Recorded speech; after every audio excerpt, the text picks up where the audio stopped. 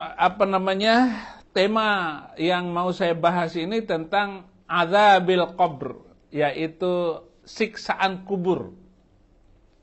Masalahnya saya mau membicarakan masalah siksaan kubur ini karena itu adalah uh, cerita horor yang saya alami ketika saya masih kecil, ketika saya masih SD.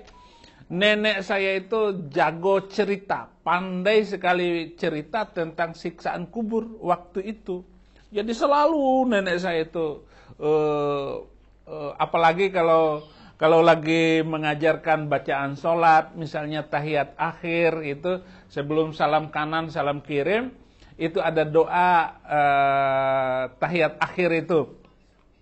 Allahumma inni a'udzubika min adzabi jahannam wa min adzabil qabri wa min fitnatil mahya wal mamat uh, wa min syarri fitnatil masihid dajjal. Nah, itu diajarkan oleh nenek saya yang berkaitan dengan uh, siksaan kubur itu.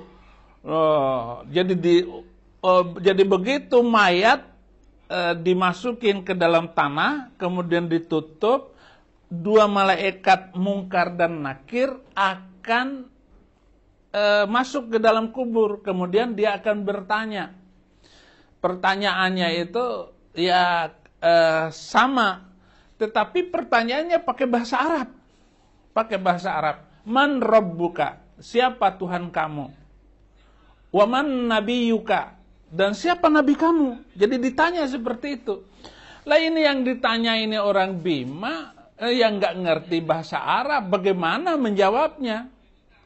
Maka ada di dalam uh, bahasa Bima dan misalnya orang Bima itu ada namanya talkin uh, karena ada di dalam uh, uh, kitab kuning lakinu mautakum la ilaha illallah.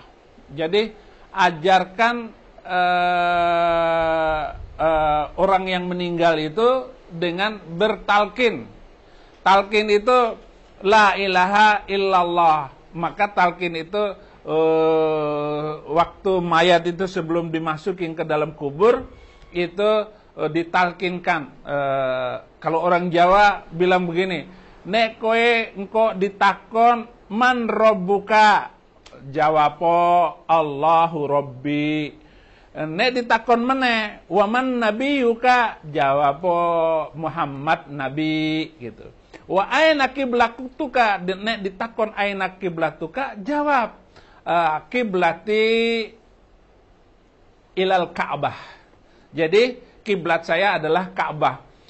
Itu diajarkan oleh orang yang mau menguburkan ini kepada mayat yang sudah mau dimasukkan ke dalam tanah supaya nanti si mayat ini bisa menjawabnya uh, apa yang dia jawabnya nanti seperti itu nanti. Nah itulah namanya lakinu mautakum.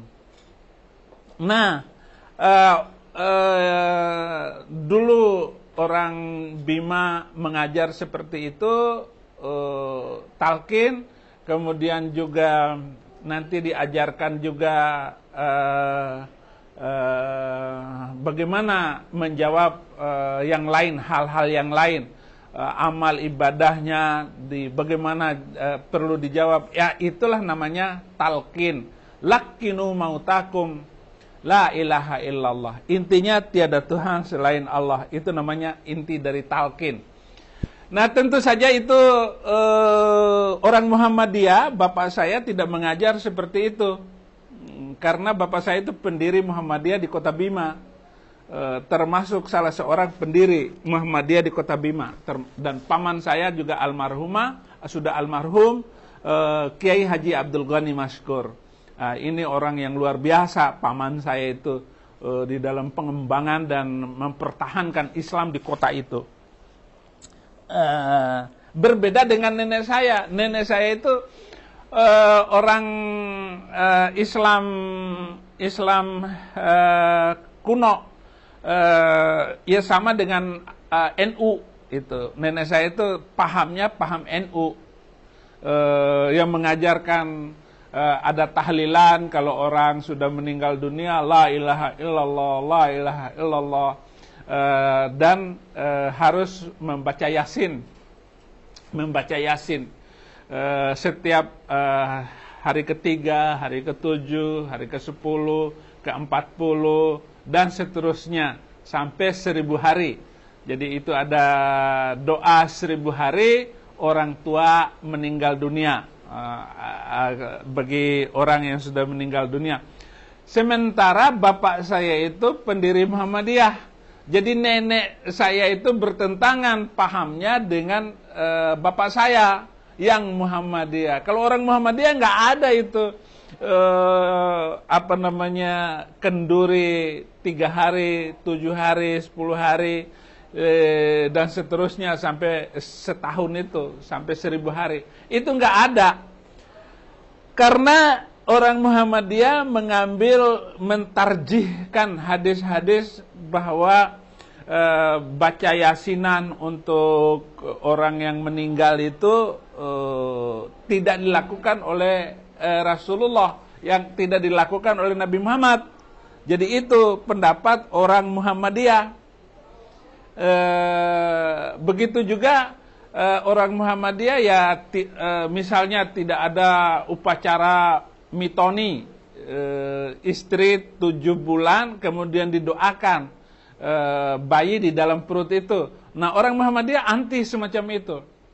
Bahkan untuk apa namanya untuk ini untuk orang yang tidak boleh kita makan di rumah orang yang sakit uh, yang meninggal nggak boleh itu haram itu bagi Muhammadiyah karena dia mengambil uh, hadis, mentarjihkan hadis, isna'ut ta'ama li ali Ja'farin.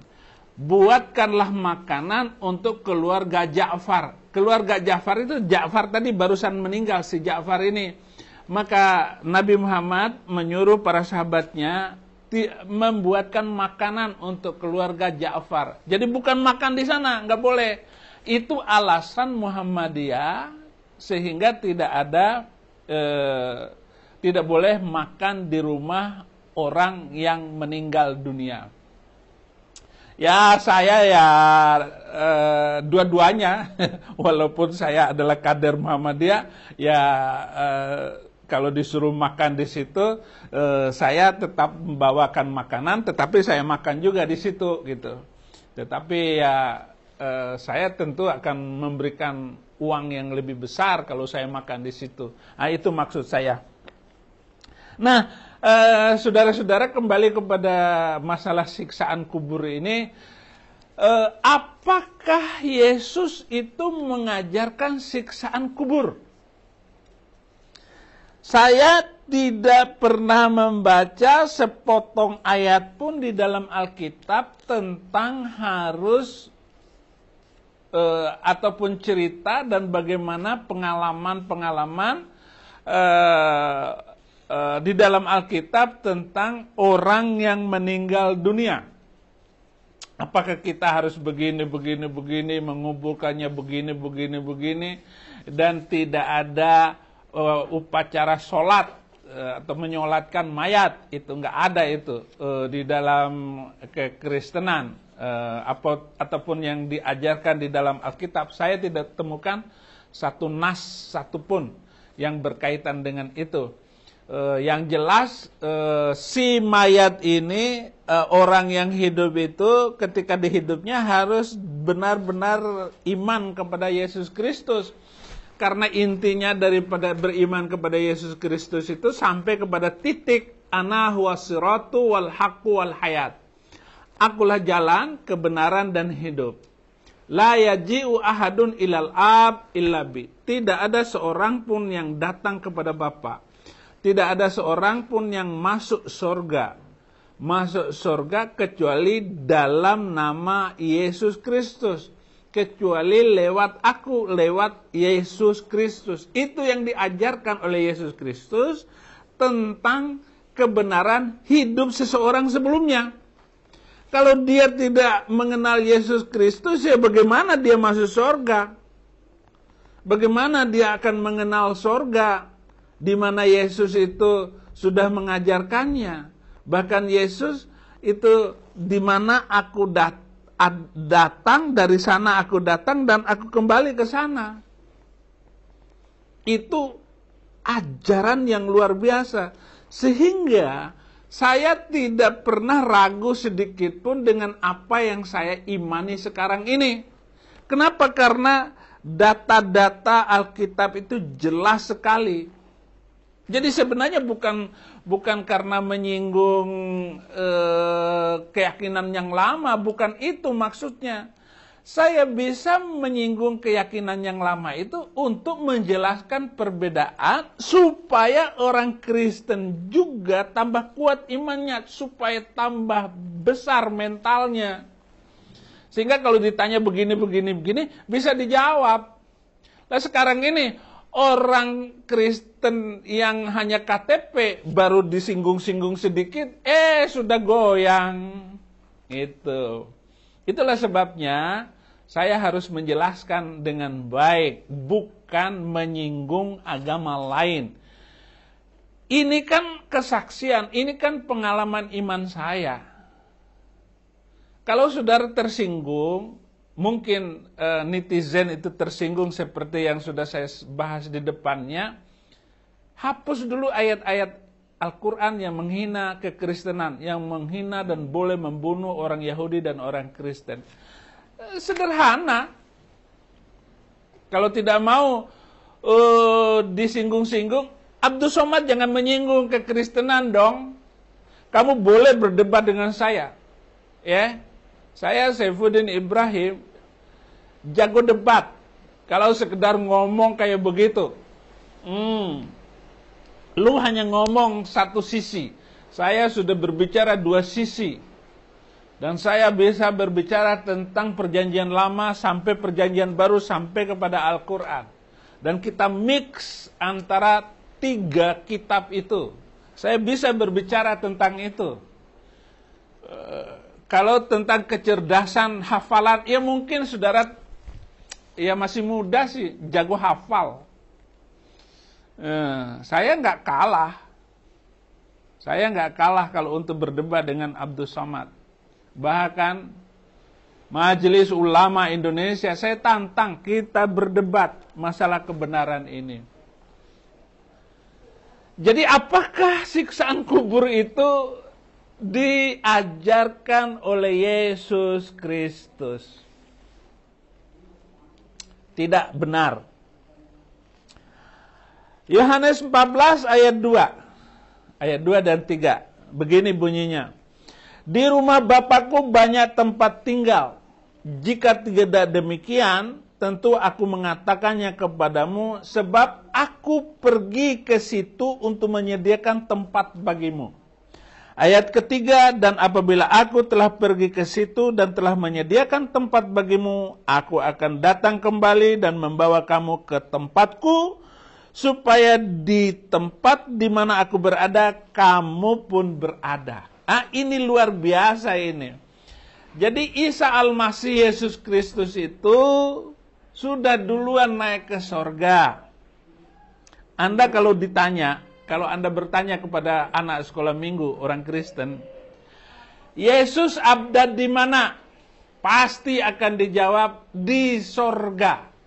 Jadi 2000 tahun yang lalu, Yesus itu sudah naik ke sana, menyiapkan tempat bagi siapa pun, sehingga di mana Yesus berada, kamu pun berada.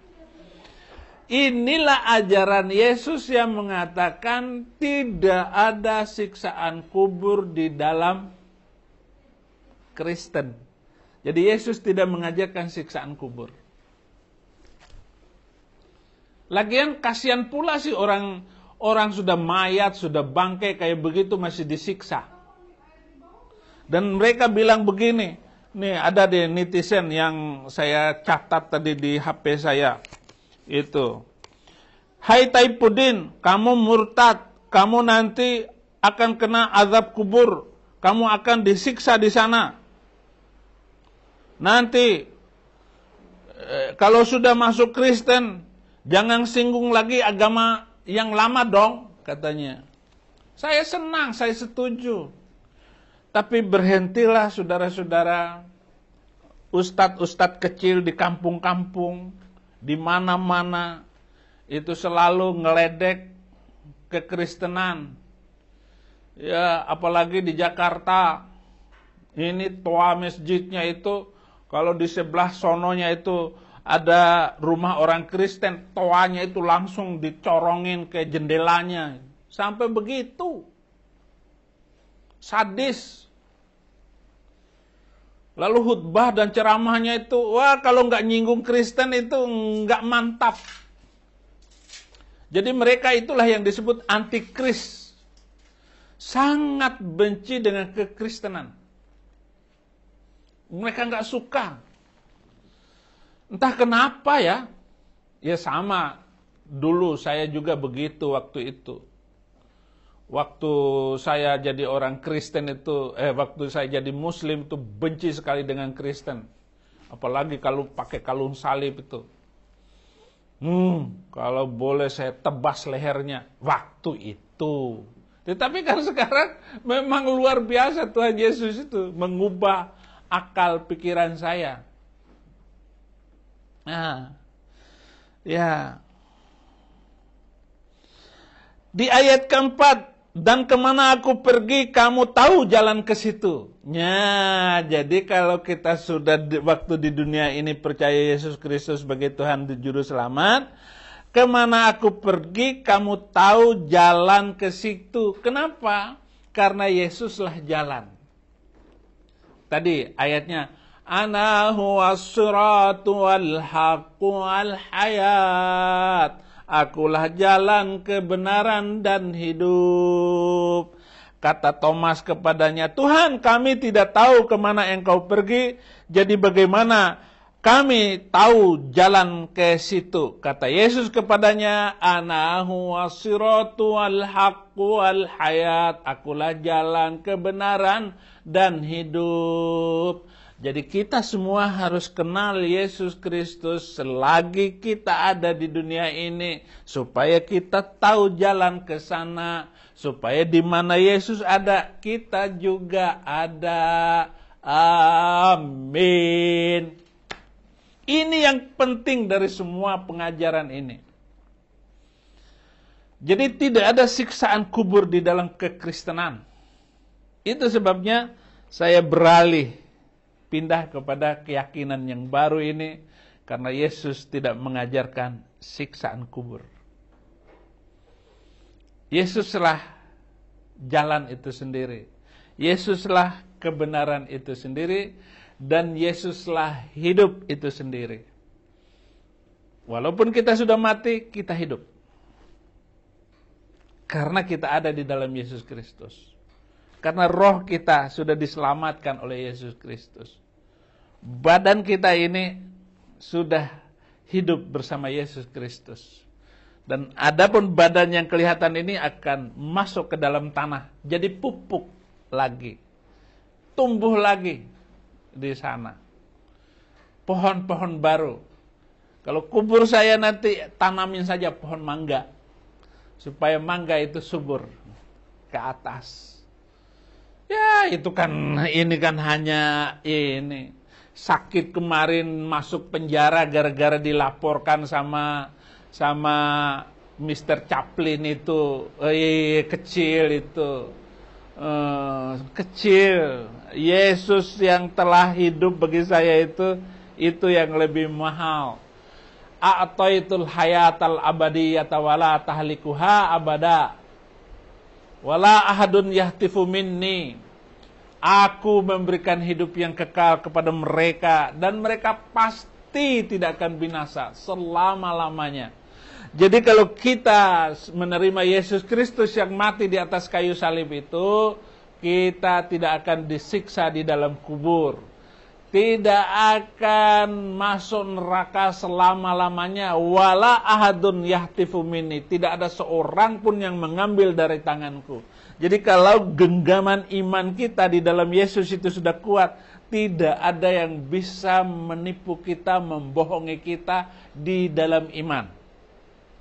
Itu hebatnya. Dan di dalam Yohanes 6 ayat 47, Man amana ilayya fa'alaihi hayatan labadiyah. Sopo wong sing percaya karo aku maka urip saklawase. Siapa yang percaya kepada Yesus Kristus kepada aku, maka dia akan hidup kekal selama-lamanya, saklawase. Uh, mori poda mori watimade kata orang Bima.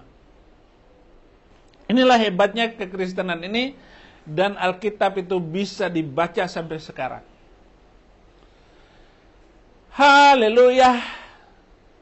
Saya sudah selesai eh, eh, rasa hutang saya untuk menjelaskan kepada ajaran nenek saya eh, yang luar biasa karena nenek saya itu sangat berjasa di dalam mengajarkan hal-hal tertentu eh, dan cerita-cerita kenabian. Mama saya melanjutkan pengajaran nenek saya itu yang luar biasa, eh, lebih modern lagi eh, mama saya itu.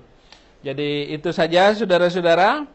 Eh, uh, siaran uh, siang pagi hari ini.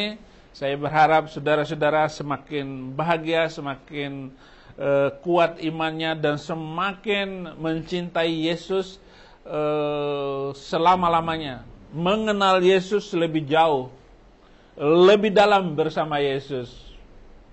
Lebih dalam lagi Ku cinta kau Yesus lebih dari segala yang ada. Jadi kita harus lebih dalam mengenal Yesus Kristus, lebih dalam mencintai Dia, lebih dalam di iman kita bersama Dia agar kita tidak tersesat hidup kita selama-lamanya. Terima kasih. Tuhan Yesus memberkati.